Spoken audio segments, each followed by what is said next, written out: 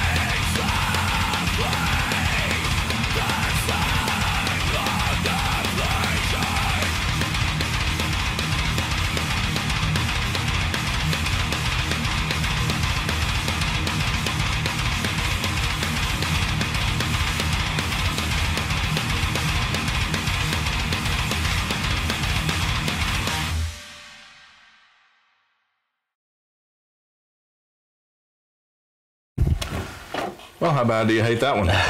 Well, okay. I did like how the drums, he was still just like, mm -hmm. and his snare, you know, Yeah. on like the one and the three. But the feet are going crazy. Yeah. Yeah. The thing, I did like how they, in the in the verses in the beginning, they they, and then they, it's like they bend the note. Mm -hmm. That's cool. Yeah. On an eight string. Huh? Eight string guitars. Oh, guitars. yeah, yeah. And then, uh, of course, I like that. I liked the break. I liked the break with the little melody thing. I knew it was coming back. Still scared the crap out of me. and then um, I like the guitar solo. I like how, how that the slow. Yeah. That was cool.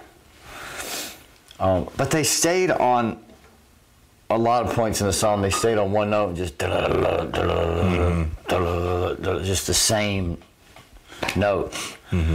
Just different timings, different rhythms. And that drives me crazy sometimes. okay. It's just like take a jackhammer and put it on my head, just. You know what I mean? Yeah. It's just me. Sure. That's okay. Um, there are a couple of other cool things I thought I heard the guitar doing that was cool at one point. Just like there's like another note, sound like they were. I don't know. I have to go back and listen to it. Yeah. But it was it was real it was real it became monotonous repetitive Yeah.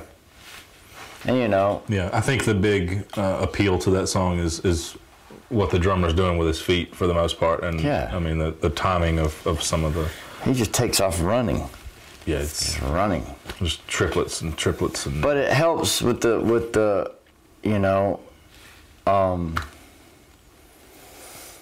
the contrast of the